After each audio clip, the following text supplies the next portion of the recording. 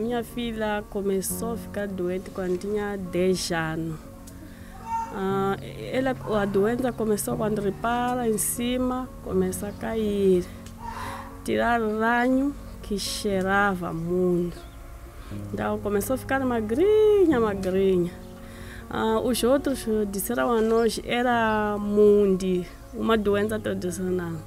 Andamos nos corredores, andamos, mas não conseguimos recuperar a doença. Ela ficou mais magrinha, mais magrinha. Então fomos num médico de chinês. O médico disse era era brain tumor, tumor da cabeça. Em inglês é brain tumor. Uh, aqui em Moçambique não havia máquina magnética para detectar a doença.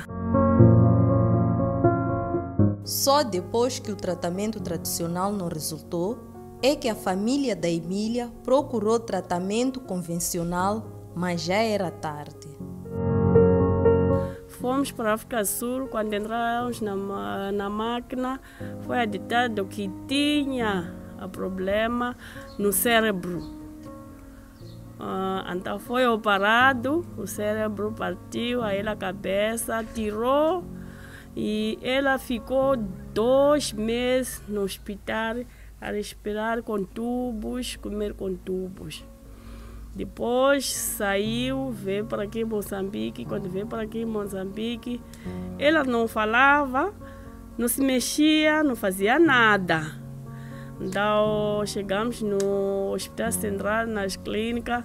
Então começou a falar, chamar um por um as irmãs. Quando começou a falar um por um, ela começou a tirar os tubos.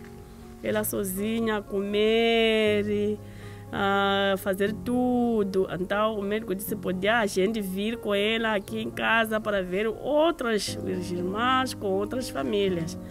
A Mila começou a melhorar a partir daí. A médica Fátima Bacassam explica as implicações da procura tardia dos serviços de saúde. O que acontece é que o tumor evolui e começa a metastizar, começa a, a, a disseminar-se para outras zonas do corpo. Então, o atraso uh, da ida, da procura aos serviços de saúde uh, permite que o tumor se desenvolva mais e comece a afetar outras zonas, né? outras regiões, outras estruturas do corpo.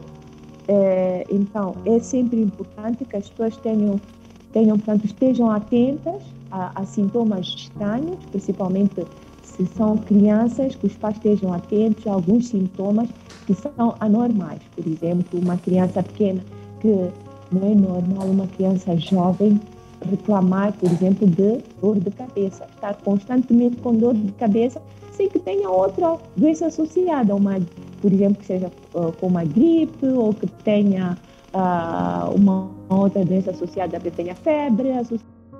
O tumor não só deixou marcas no corpo da jovem Milha, ele afetou também as economias da família.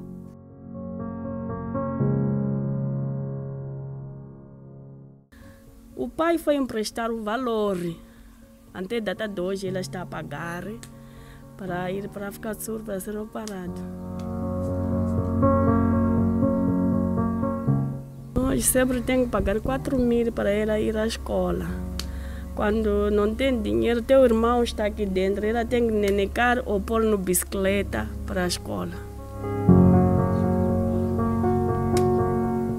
O irmão que cega era o último rapaz. De acordo com a médica Fátima Abacassam, a rápida procura dos serviços de saúde pode evitar problemas graves. Quanto mais cedo se procura os serviços de saúde, maior probabilidade há de, de, sobrevivência ou de encontrar, por exemplo, uma massa ainda num tamanho operável. Ou então que não tem ainda as tais metástases, que são, hum, que é a disseminação do cancro, né, para outras partes do, do, do, corpo ou mesmo da mesma região, que depois pode evoluir para massas, uh, uh, para massas nessa região.